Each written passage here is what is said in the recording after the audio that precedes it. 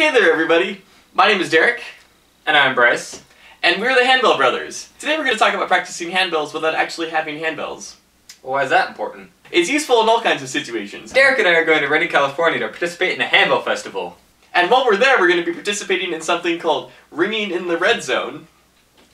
With Larry Sue. Congratulations, Larry Sue, on getting married. As part of going to Redding, we have to try to play this piece of music.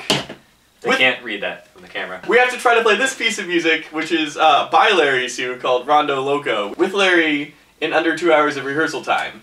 Today we figured we'd show you how we prepare our music before we go to a festival like this. Handbell ringers don't often think about how to prepare music before they get to rehearsal, but it's actually one of the most important things you could do as a handbell player. So we've come up with five steps to help you work through the process of how do you look at your music before you go to a festival. Step one is very easy. Get a paper copy of your music, like so. I find that having a paper copy of your music before you go to a festival actually helps a lot because then you can write all over it and you can look at it and really get to know your music before you actually get to a festival. Most festival coordinators or directors of your choirs will send out the music ahead of time before rehearsal. If they don't, you should ask for it. An important thing to remember if you mark your own music before the festival is to change your markings to the festival music with your stand partner. Step two is to listen to a recording of the piece. You can find recordings of most pieces online if you Google it with the composer's name. Many times there'll be recordings of handbell choirs performing it on YouTube. Other times you'll end up on the music publisher's site where you can actually listen to pre-recordings of the music. But either way, you need to find a recording of the music and listen to it multiple times before you get to a conference.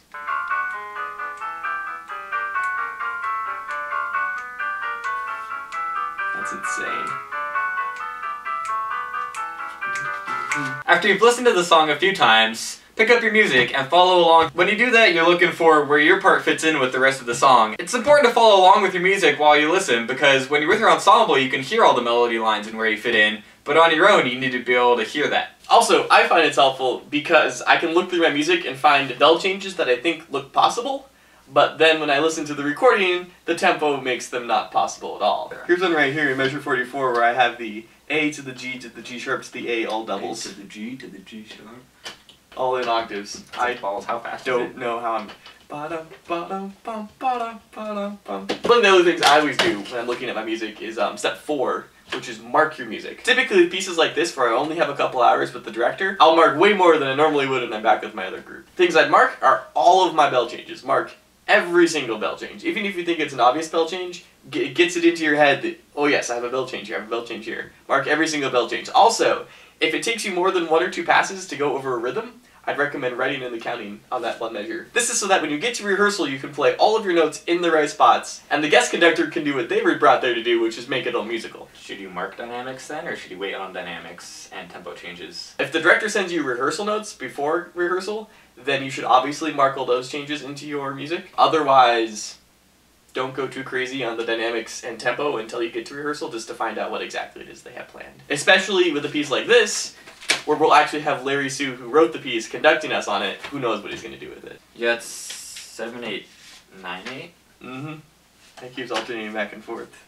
A good thing to do before you go to a festival is to mark any questions you have for the conductor, so that way you know what you're going to do when you get there and you sound intelligent. And impress Larry that we know our music. For instance, in this song, there's a couple measures that are written in 4-4 but are actually 7-8-9-8, so it'd be a good question to ask Larry when we get there if he's going to conduct them in 7-8-9-8 or in 4-4. One other thing I always do is mark all of my naturals and flats from my from the key signature. I wouldn't normally do that in choirs, but in festival situations, the last thing I want to do is pick up the wrong note. After you've gone through your music and you've listened to the recordings and you've marked everything, something I like to do to help me figure out how I'm going to get through some tricky spots is to pantomime. Really? Typically, I usually just pantomime with my hands like this, but there are also lots of other things you can use to pantomime. The first being foam, We also need some things to pantomime with. Here are some things we would suggest if you don't like to pantomime without anything in your hands. Plastic bottles, Glass bottles. You can four-in-hand them. kitchen utensils, Holy spatula, Batman! If you're really desperate, cans of soup. hey, and then you get lunch out of it too. And lastly, you can use vegetables like zucchini. I bet you can't weave and take a bite every time.